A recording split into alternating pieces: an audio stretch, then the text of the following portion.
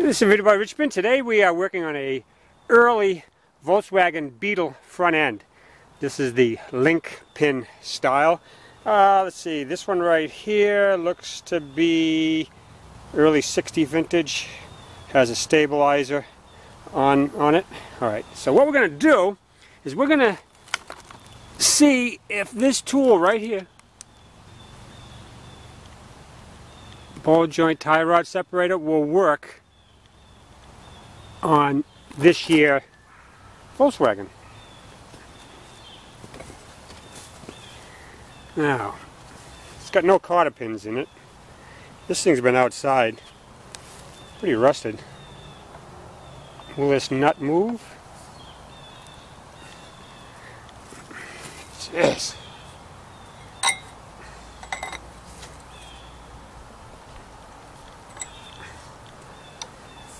Well, put a pipe on it.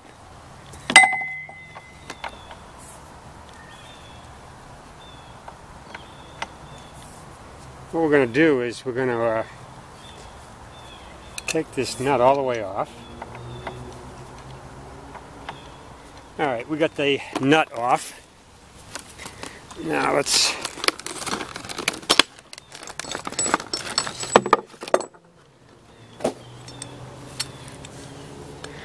put this thing together here.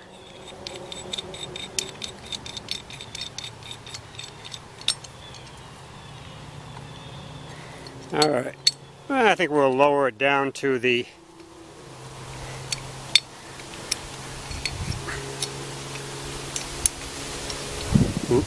lowest hole.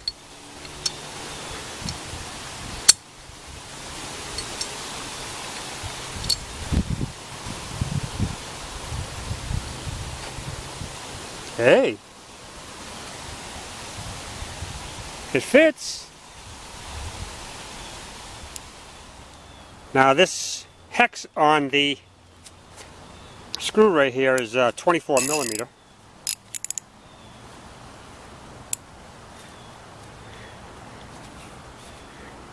Normally I like to leave the nut on there when I'm shocking the piece, but uh, we'll see how this goes.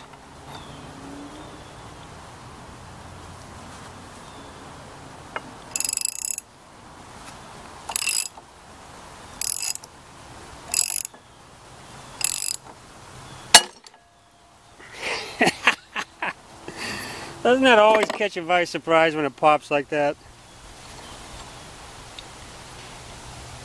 Look at that. Still in one piece. Just break it.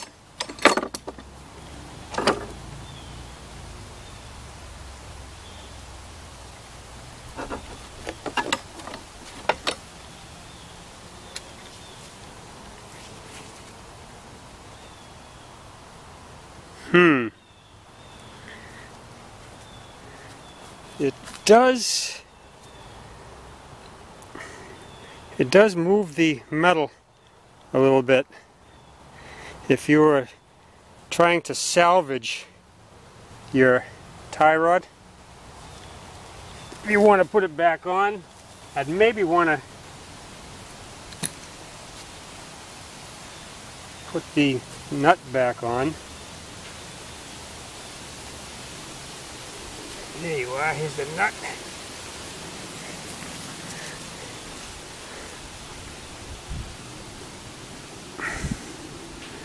Oh, it didn't, uh, didn't bugger the threads.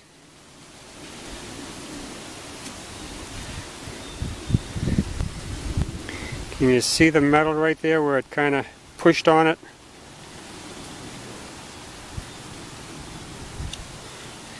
Yeah, I think I would use the nut on there if I was trying to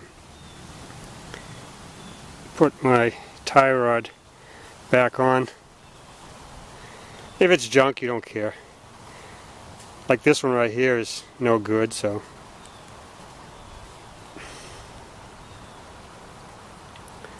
Works pretty good. I give it uh, two thumbs up.